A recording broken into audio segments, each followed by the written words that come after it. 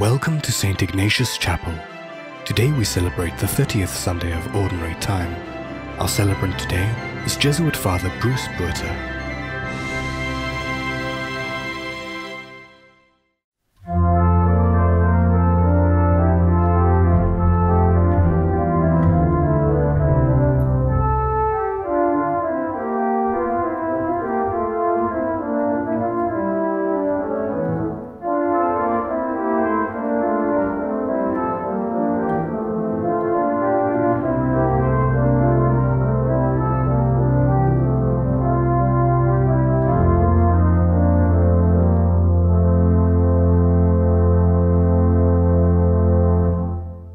Father, the Son, and the Holy Spirit. Amen. The Lord be with you. And with your spirit. As always, we gather in the name of our Lord Jesus Christ, celebrating his love for us. So we rejoice, we give him thanks. But also, we are aware of our own woundedness. That sometimes we hurt other people through what we say or what we do. So we ask the Lord to forgive us. You came to heal the contrite of heart. Lord, have mercy. Lord, have mercy. You came to bind up our wounds and to forgive our sins. Christ, have mercy. Christ, have mercy. He came that we might have a new and abundant life. Lord, have mercy. Lord, have mercy. And may Almighty God have mercy on us. May He forgive us our sins and bring us to a new and everlasting covenant. Amen. And now let us give glory to God. Glory, to God in the highest, and on earth peace to people of good will. We praise you, we bless you, we adore you, we glorify you, we give you thanks for your great mercy. Lord God, Heavenly King, O God, Almighty Father, Lord Jesus Christ, only begotten Son, Lord God, Lamb of God, Son of the Father, you take away the sins of the world, have mercy on us. You take the right hand of the Father, have mercy on us.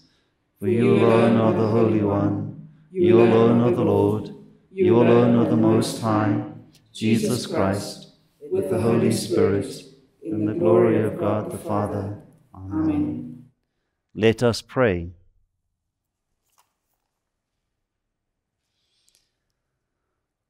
Almighty, ever living God, increase our faith, hope, and love, and make us love what you command, so that we may merit what you promise. We ask this through our Lord Jesus Christ, your Son, who lives and reigns with you in the unity of the Holy Spirit, one God for ever and ever. Amen.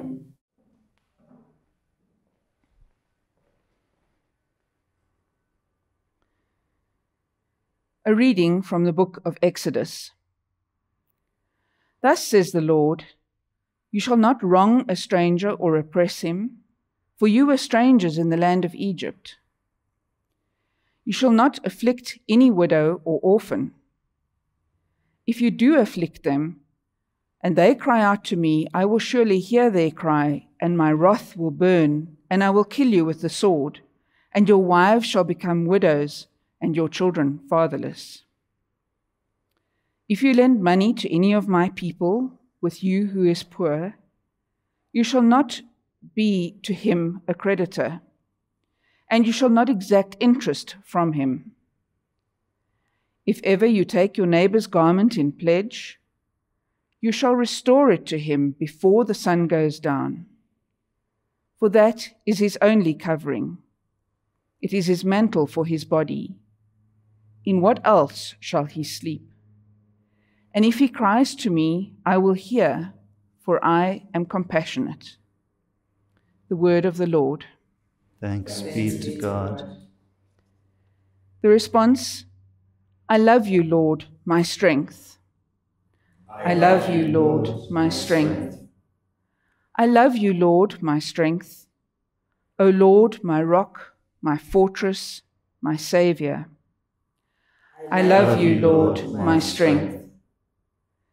My God, my rock where I take refuge, my shield, my saving strength, my stronghold. I cry out, Praised be the Lord, and see, I am saved from my foes. I love you, Lord, my strength. The Lord lives, and blessed be my rock. May the God of my salvation be exalted. The Lord gives great victories to his king and shows merciful love for his anointed. I love you, Lord, my strength.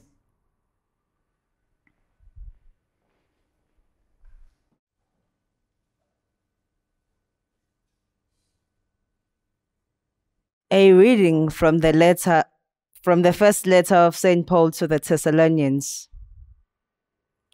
Brethren, you know what kind of man we proved to be among you for your sake. And you became imitators of us and of the Lord. For you received the word in much affliction, with joy inspired by the Holy Spirit, so that you became an example to all the believers in Macedonia and in Achaia. For not only has the word of the Lord sounded forth from you in Macedonia and Achaia, but your faith in God has gone forth everywhere, so that we need not say anything.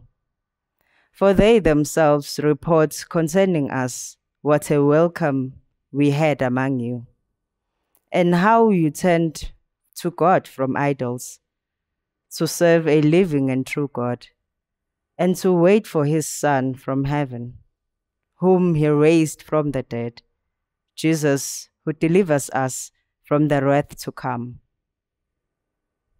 The word of the Lord. Thanks, Thanks be to God. Alleluia. Alleluia. Alleluia.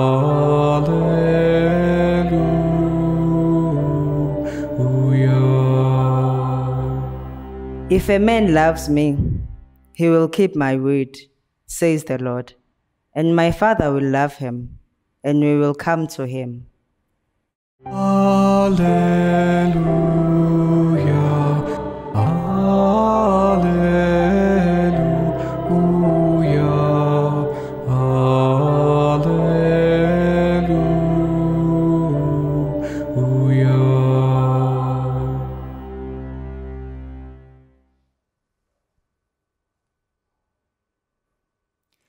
Lord be with you.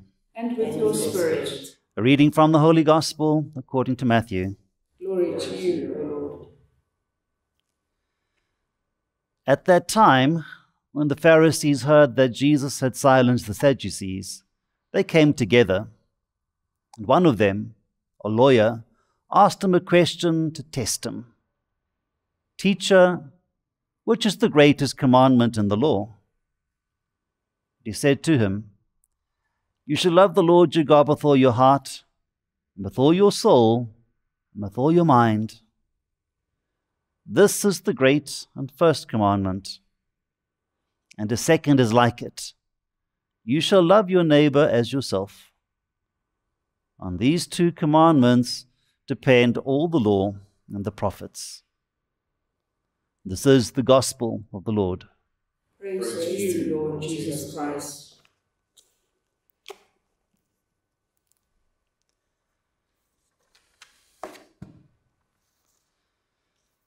The greatest command is clear You shall love the Lord your God with your whole heart.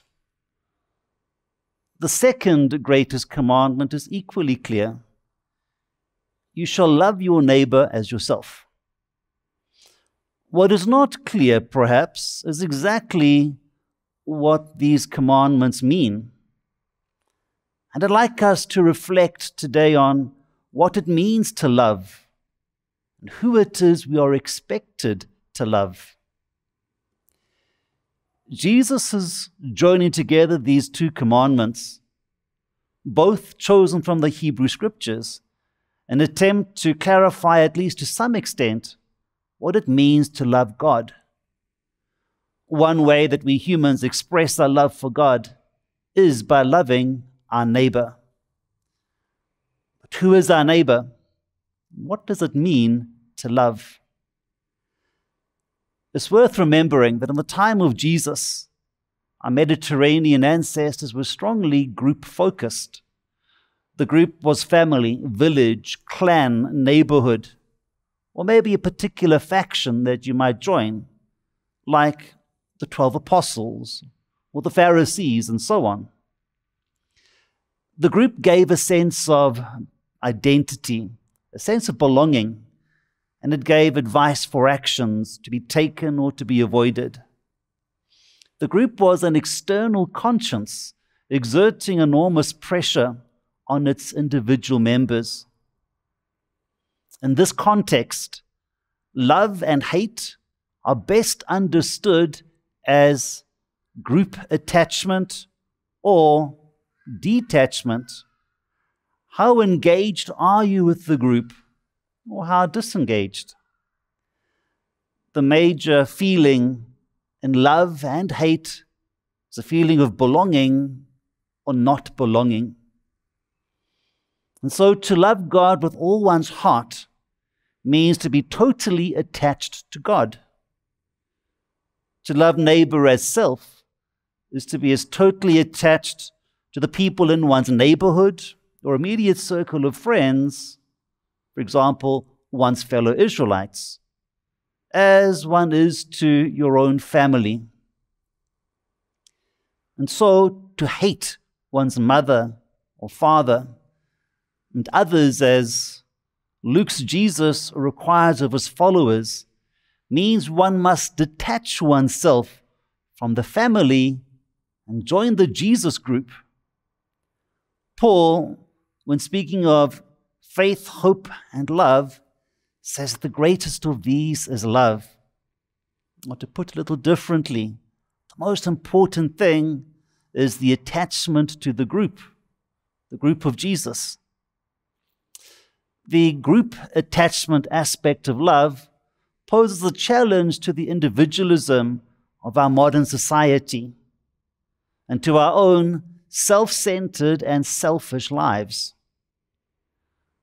According to Jesus, it seems as though we cannot be truly living a life of love unless we are part of and committed to something greater than ourselves.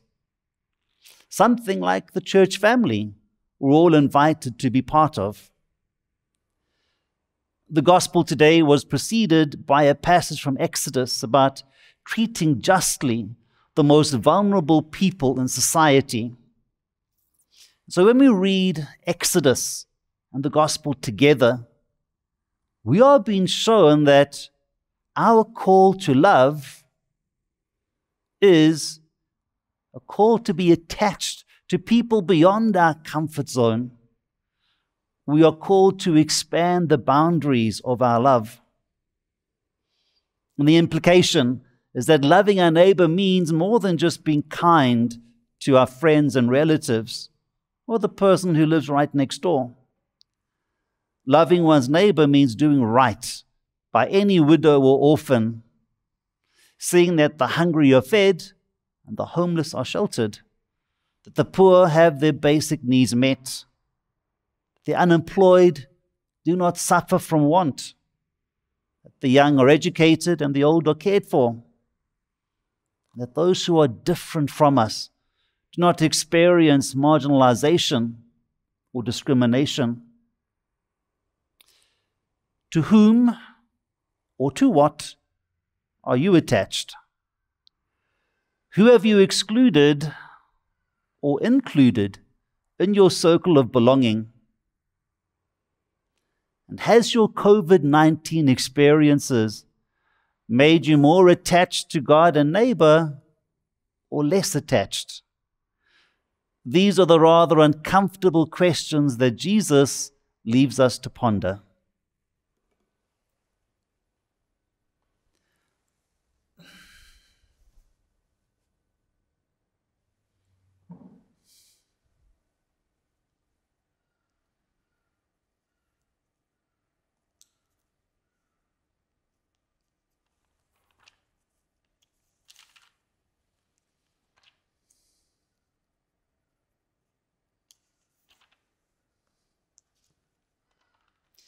We now use the Apostles' Creed to profess our faith. I believe in one God, the Father Almighty, maker of heaven and earth, and in Jesus Christ, his only Son, our Lord, who was conceived by the Holy Spirit of the Virgin Mary, suffered under Pontius Pilate, was crucified, died, and was buried.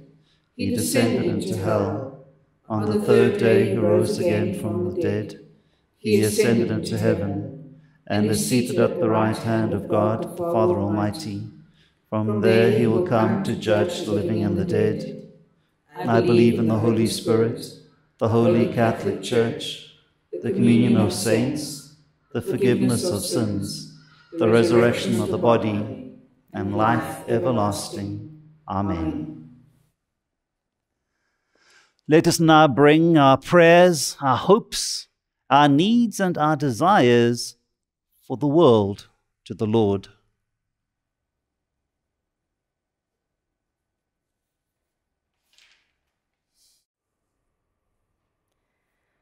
We pray for the church that we may proclaim the fullness of the gospel with our words and with our lives and bring light of Christ to the world.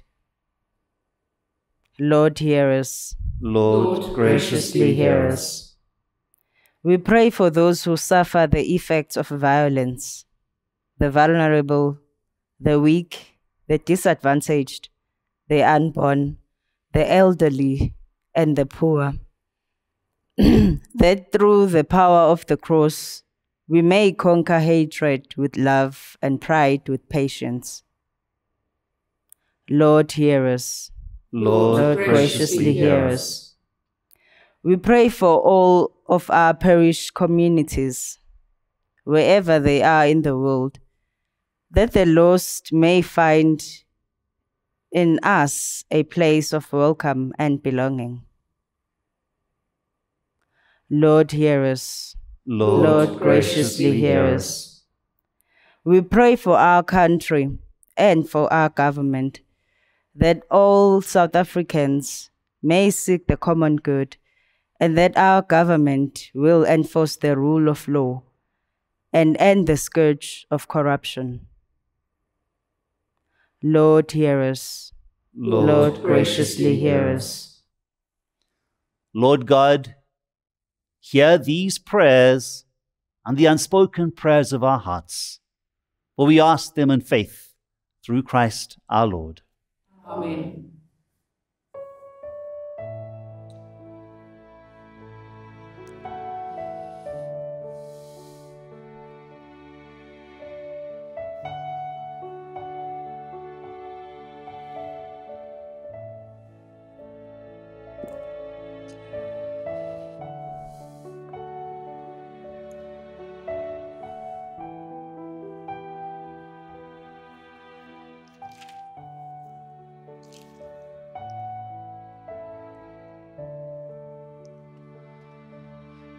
Blessed are you, Lord, God of all creation, for through your goodness we have this bread to offer, food to the earth and work of human hands. It will become for us the bread of life. Blessed be God forever. With the mingling of this water and wine, we come to share in the divinity of Christ, to humble himself to share in our humanity. Blessed are you, Lord God of all creation. For through your goodness we have this wine to offer, fruit of the vine and work of human hands, have become for us our spiritual drink. Blessed be God forever. The Lord wash away my iniquities and cleanse me from my sin. Pray now, brothers and sisters, that these gifts that we bring may be acceptable to God, our Almighty Father. May the Lord accept the sacrifice at your hands for the praise and glory of his name, for our good and the good of all God's holy church. Look, we pray, O Lord, on the offerings we make to your majesty, that whatever is done by us in your service may be directed above all to your glory. We ask this through Christ our Lord. Amen. The Lord be with you. And with your spirit, Lift up your hearts. We lift them up to the Lord. Let us give thanks to the Lord our God. It is right and just. It is truly right and just, our duty and our salvation, always and everywhere to give you thanks, Father of mercies and faithful God. For you have given us Jesus Christ, your Son, as our Lord and Redeemer. He always showed compassion for children and for the poor, for the sick and for sinners. And he became a neighbor to the oppressed and the afflicted. By word and deed, he announced to the world that you are our Father, and that you care for all your sons and daughters. And so, with the angels and saints, we exalt and bless your name, and we sing the hymn of your glory, as without end we acclaim. Holy, holy, holy, Lord God of hosts, heaven and earth are full of your glory. Hosanna in the highest. Blessed is he who comes in the name of the Lord. Hosanna in the highest. You are indeed holy and to be glorified, O God, who loves the human race and who always walks with us on the journey of life. Blessed indeed is your Son, present here in our midst, when we are gathered by his love. And as he once did for his disciples, so he now does for us. He opens the scriptures and he breaks the bread. Therefore, Father most merciful, we ask that you send forth your Holy Spirit to sanctify these gifts of bread and wine, that they may become for us the body and blood of our Lord Jesus Christ. On the day before he was to suffer, on the night of the Last Supper, he took bread and said the blessing. He broke the bread, and then he gave it to his disciples, saying, Take this, all of you, and eat of it. This is my body, which will be given up for you.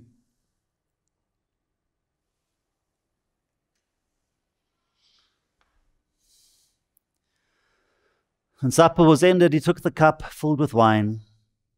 And then, giving you thanks and praise, he gave the cup to his disciples, saying, Take this, all of you, and drink from it.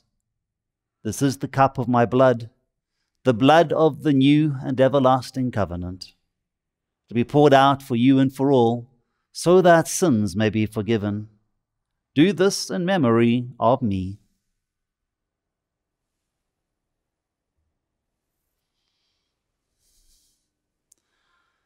Let us now proclaim the mystery of our faith.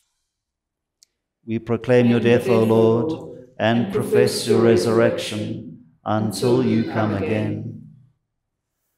Therefore, Holy Father, as we celebrate the memorial of Christ your Son, our Saviour, whom you led through his passion and death on the cross to the glory of the resurrection, and whom you have seated at your right hand, we proclaim the work of your love until it comes again and we offer you the bread of life and the cup of blessing.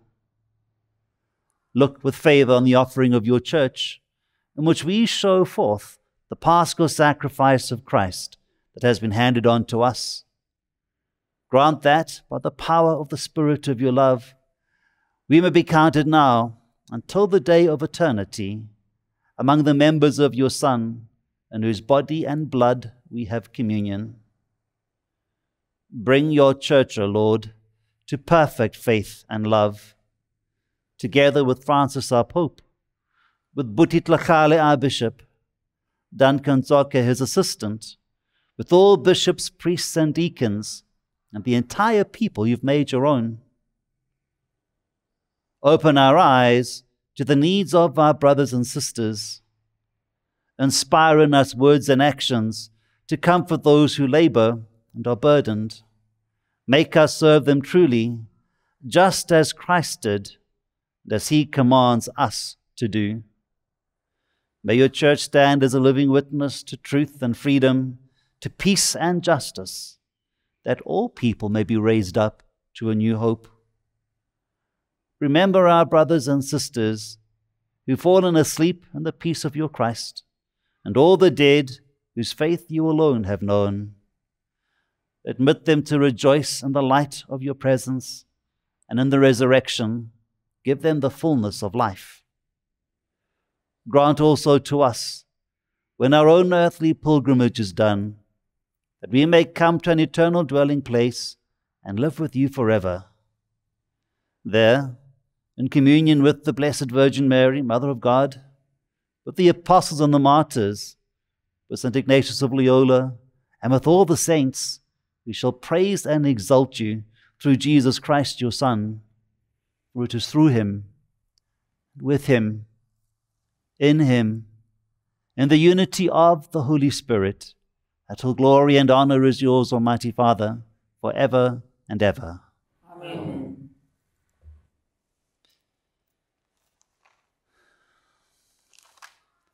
At the Saviour's command, informed by divine teaching, we dare to pray. Our Father, who art in heaven, hallowed be thy name. Thy kingdom come, thy will be done, on earth as it is in heaven. Give us this day our daily bread, and forgive us our trespasses, as we forgive those who trespass against us. And lead us not into temptation, but deliver us from evil. Deliver us, Lord, we pray, from every evil, and grant us peace in our day. By the help of your mercy, may we be always free from sin and safe from all needless anxiety as we wait in joyful hope for the coming of our Saviour, Jesus Christ. For the kingdom, the power, and the glory are yours, now and forever. Lord Jesus Christ, you said to your apostles, I leave you peace. My peace I give you. Look not on our sin, but on the faith of your church, and grant us the peace and the unity of your kingdom, where you live and reign for ever and ever. Amen. The peace of the Lord be with you always. And with your spirit.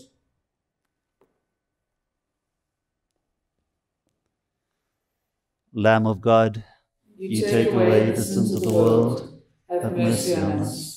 Lamb of God, By the name of the away body and the blood of sins Jesus of the Christ, bring world. eternal life. Have mercy on us receive it in faith. Lamb of God, you take away the sins of the world. Bring us Grant us peace. that health and mind and in spirit.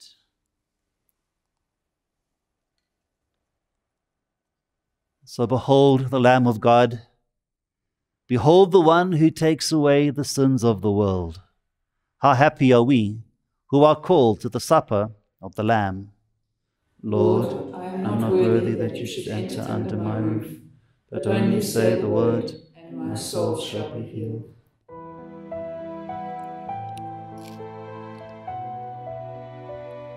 Although you cannot receive physical communion with us now, we invite you into a moment of spiritual communion. The great medieval theologian, St. Thomas Aquinas, defined spiritual communion as an ardent desire to receive Jesus in the Holy Sacrament and a loving embrace as though we had already received him.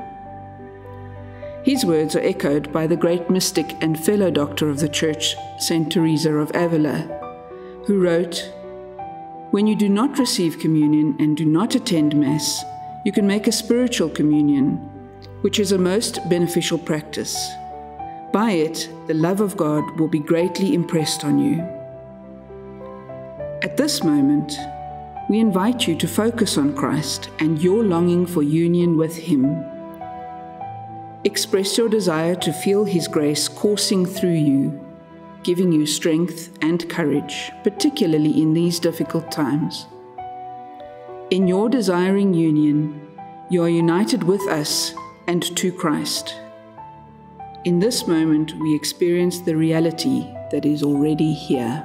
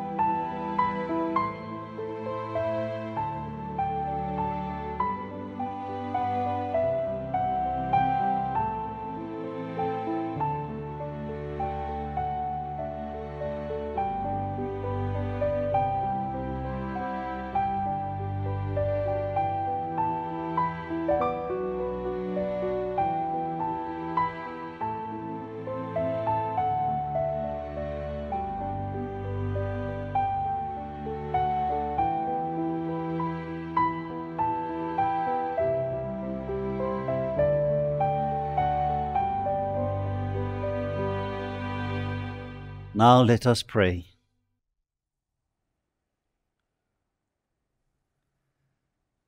May your sacraments, O Lord, perfect in us what lies within them, that what we now celebrate in signs we may one day possess in truth.